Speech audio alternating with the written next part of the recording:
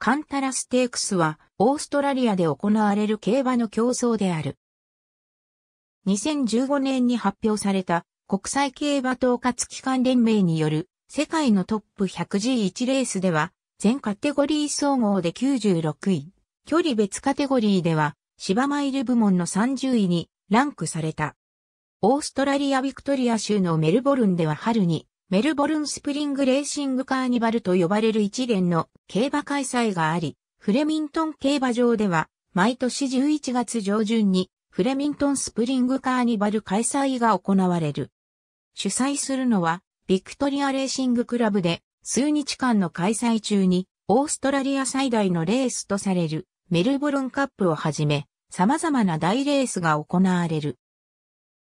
3歳以上のサラブレッドによる1600メートルのハンデキャップ競争で2014年時点では G1 に格付けされており、賞金総額は100万5ドルである。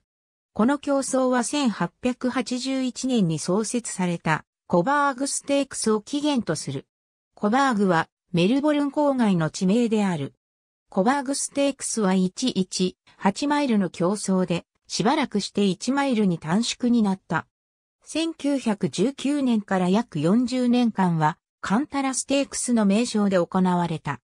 その後も何度も名称が変わっているが、カンタラステークスの名前は最も長く使用された名前であり、1998年からエミレーツステークスに改称した後も、しばしばカンタラステークスの名称が用いられている。血統や成績の国際的な共通規格を定める国際競り、名簿基準委員会では2014年時点でカンタラステークスと登録されている。1960年代にオーストラリアの大手賭博会社タタソールズの創設者、ジョージ・アダムスを記念して、ジョージ・アダムズ記念に改称した。この際に、スポンサーとして多額の賞金を提供したことで、ジョージ・アダムズ記念は、フレミントンスプリングカーニバルの中でも重要な競争に位置づけられるようになった。この時期、アクアニタ、ウェノナガール、ストームクイーン、ベインといったオーストラリアの名馬が相次いで勝っており、この競争の黄金期を築いた。1980年代半ばからは、数年おきに頻繁にスポンサーが変わり、その都度レースの名称も変わっている。1980年代の終わりには、ジャパンカップで来日して、好成績を収めたベタルースンアップやシャフツベリーアベニュがこの競争を勝っているが、当時はホンダステークスという名称だった。1998年からは中東系のエミレーツ航空がスポンサーとなり、エミレーツステークスの名称で開催された。同社はフレミントンスプリングカーニバル全体のスポンサーでもあり、開催中の目玉レースであるメルボルンカップもエミレーツメルボルンカップという名称で行われている。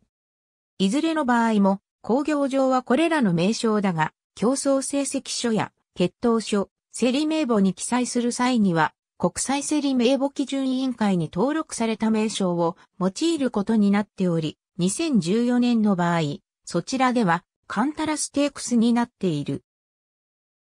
2016年は再びカンタラステークスに名称が変更されたが、翌2017年から2年間はケネディマイルの名称で開催された。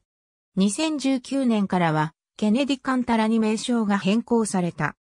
フレミントンスプリングカーニバル開催の初日にあたる土曜日をビクトリアダービーデーと言っており、カンタラステークスはビクトリアダービーデーの目玉競争になっている。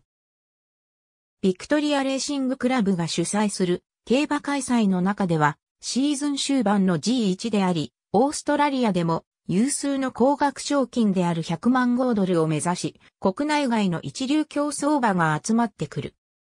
フレミントン競馬場のゴール前の直線は453メートルと長く、これを克服する高い能力が必要とされており、2012年から2014年の3年間のレーティングに基づくランキングでは、芝走路のマイル部門で世界30位、全部門総合で世界96位のハイレベルな競争とされている。シドニーで行われるエプソムハンディキャップを筆頭に、ムンガステークス、フライトステークス、トゥーラクハンディキャップなどが主要な前哨戦を形成している。1932年の優勝馬、デニス・ボーイ。ありがとうございます。